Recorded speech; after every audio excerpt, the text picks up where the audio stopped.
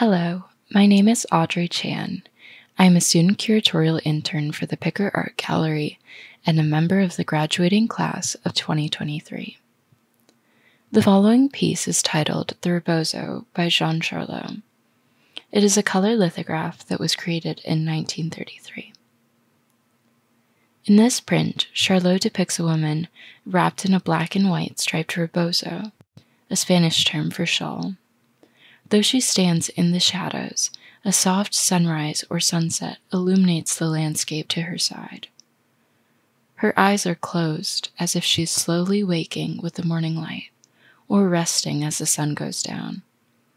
The print captures a glimpse of the Mexican landscape in a shade of rich ochre.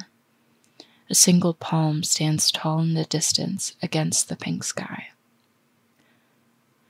Jean Charlot was a French artist with Mexican heritage who moved from Paris to Mexico in his early 20s.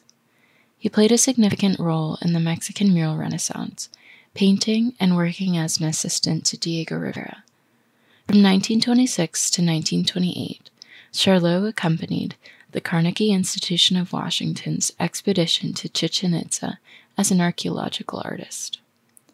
This job was crucial to Charlot's artistic development as he became interested in Mayan art and indigenous Mexican culture.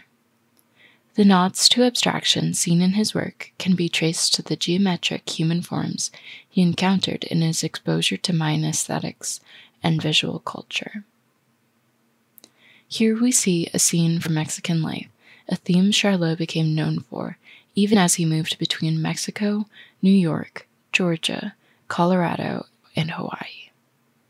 In his comments for this catalog entry, Charlot wrote, This took a long time to evolve. The woman was originally giving centavos to a beggar.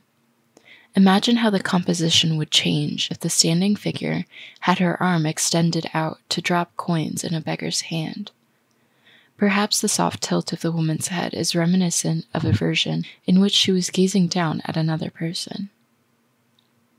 This print is one of 32 images featured in a picture book of Charlot's work, created in 1933. The artist's goal in creating the book was to expose the process of printmaking by including prints of the individual layers that would be compiled to create the final image. From the artist's records of the process, the color of his first layer of ink was yellow, followed by reddish brown. Notice how these colors create a warm feeling as the base tones of the print. Turning our eyes to the earth, we can see yellow peeking out from the textured ground and the vibrant sand. Moving up to the sky, glimpses of yellow remind us of the emerging or fleeting sunlight. Each print was accompanied by a two line rhyme written in French and English. Both texts reference the black and white striped rebozo worn by the woman. The French caption translates to She sees everything in black and white. Nuances are too disturbing. And the English rendition reads Decked in prisoner stripes, her heart for escape is ripe. How can we interpret these captions? In contrast to the tranquility of the image, the texts evoke darker language that might lead us to wonder why the woman is standing in the shadows. The composition of the print is distinctly split between the vibrant landscape on the left and the dominantly black and brown right side. The woman's silhouette almost blends into the wall, her dark brown skirt matching the tone and vertical grain of the structure behind her.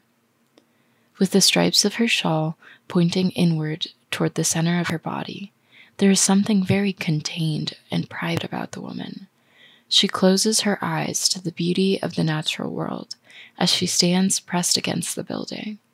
The caption, reading, Her heart for escape is ripe, might lead us to wonder if she longs to break from her place in the shadows and venture to the open terrain beyond her.